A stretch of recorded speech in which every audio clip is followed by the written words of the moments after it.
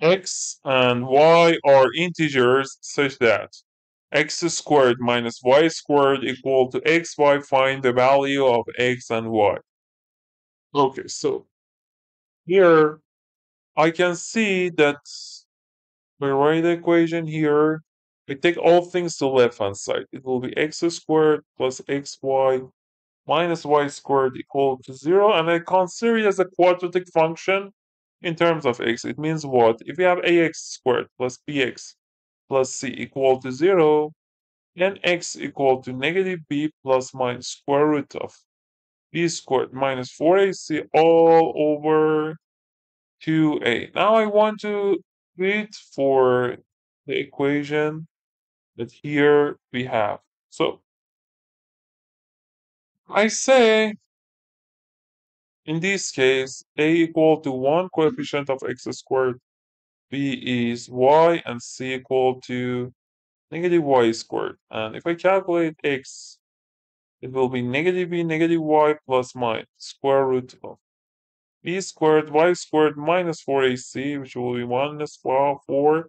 a is 1, c is negative y squared, all over 2a, which is 2 times 1.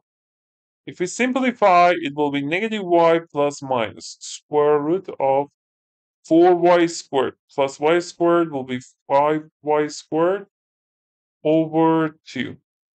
Now, let's multiply both sides by 2. It will be 2x equal to negative y plus minus square root of 5y squared. If we take negative y to right hand side, it will be 2x plus y equal to root 5y squared.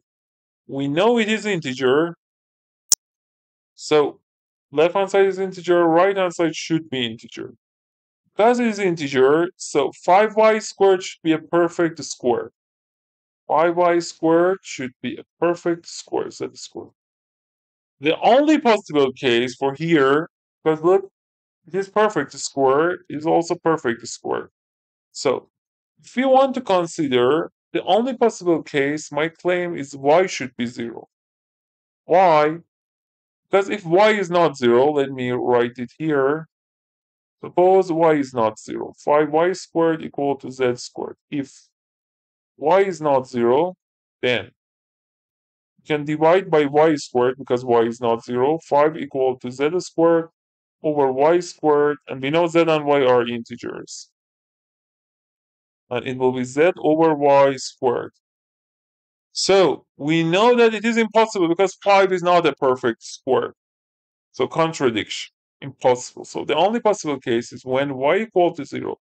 If we replace y equal to 0, x squared minus y squared equal to xy. If y is 0, then x squared is 0, and also we conclude x is 0.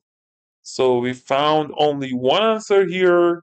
X and y, both of them are 0. So if you want to learn except quadratic formula, other formulas, ideas, you can send a message to my number, WhatsApp number in the description, also in the comments. Thanks for watching this video.